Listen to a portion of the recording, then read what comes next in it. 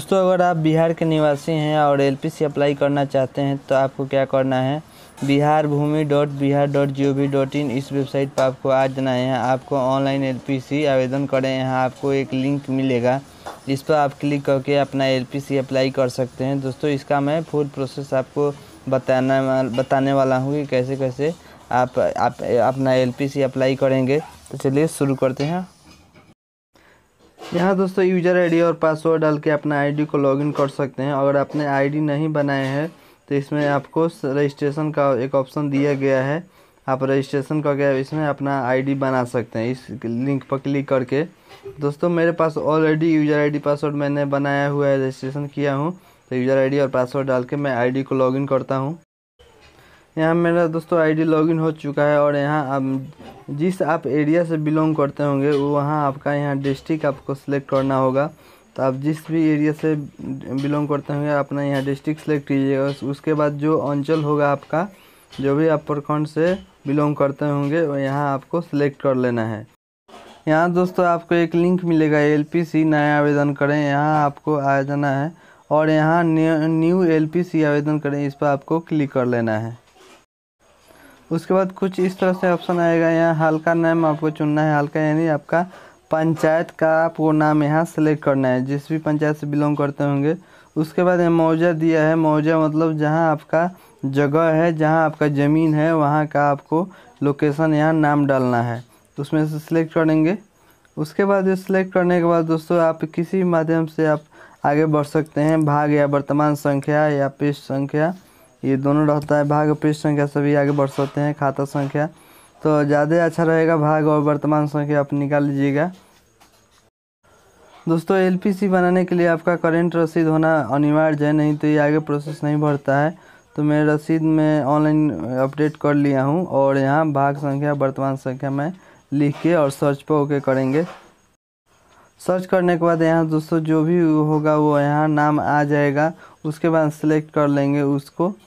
उस नाम को और यहाँ दोस्तों नेक्स्ट पेज कुछ इस तरह से हमारा ओपन हो जाएगा। यहाँ आपका डिटेल्स यहाँ शो हो जाएगा।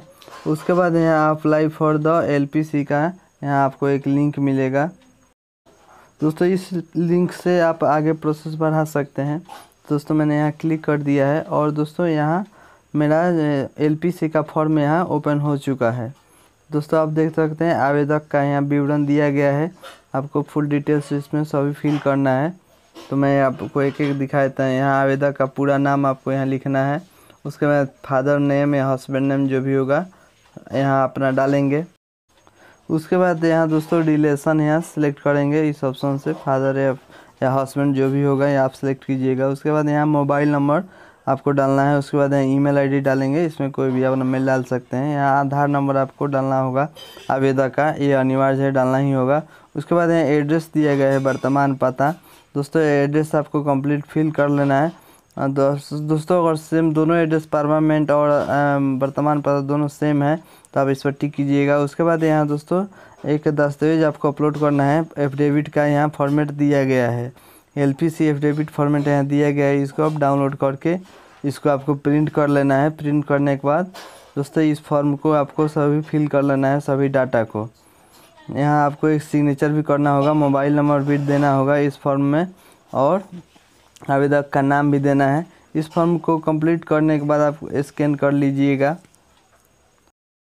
दोस्तों, उस फॉर्म को आपको पीडीएफ में स्कैन कर लेना है। आप डेढ़ सौ डी पे स्कैन कीजिएगा तो हो जाएगा। यहाँ आपको डॉक्यूमेंट्स अपलोड करना होगा। उसके बाद यहाँ एलपीसी आवेदन का यहाँ उद्देश्य क्या है? किस उद्देश्य के लिए आप एलपीसी बना रहे हैं? यहाँ आपको लिखना होगा। जो भी आपका उद्देश्य है लोन के लिए या किसी और काम के लिए तो यहाँ आपको लिखना होगा। उसके बाद दोस्तों कैप्चा दिया है। कैप्चा फिल करने के बाद सेवन नेक्स्ट पर हम क्लिक करेंगे। तो चलिए मैं सभी डाटा को फिल करके आगे का प्रोसेस बढ़ाता हूँ। दोस्तों, एक बार अपलोड कीजिएगा डॉक्यूमेंट्स तो उसके बाद फिर से एक ऑप्शन आएगा यहाँ टेम्प्रोरी आपका आवेदन सेव हुआ है तो फिर से आपको एक बार कैप्चा डालना होगा। कैप्चा डालने के बाद फाइनल सबमिट पर क्लिक करेंगे। तो मैं यहाँ फाइनल सबमिट पर क्लिक कर देता हूँ। दोस्तों, मेरा आवेदन यहाँ फाइनल सबमिट हो चुका है कुछ इस प्रकार से। आपका भी दोस्तों, आवेदन यहाँ सबमिट हो जाएगा। इसको आपको क्या करना है? प्रिंट करके रख लेना है। और आप चाहते हैं कि आपका एलपीसी जल्दी बन जाए तो आप क्या कीजिएगा? आपको ब्लॉक में जाकर कर्मचारी से मिल के आपको इसको आप जल्दी से वेरीफाई करा लेंगे तो आपका जल्दी एलपीसी बन जाएगा। नहीं तो इसमें आपको समय भी लग सकता है, लगभग महीने दिन भी लग सकता है। और जल्दी कराना चाहते हैं तो कर्मचारी से संपर्क करके अपना जल्दी आवेदन को कंप्लीट करा लीजिएगा। तो दोस्तों, ये प्रक्रिया था एलपीसी बनाने का। तो दोस्तों, आज का हमारा वीडियो आपको कैसा लगा? वीडियो अच्छा लगा तो वीडियो को लाइक और शेयर ज़रूर कीजिएगा। दोस्तों, हम मिलते हैं किसी नेक्स्ट वीडियो में।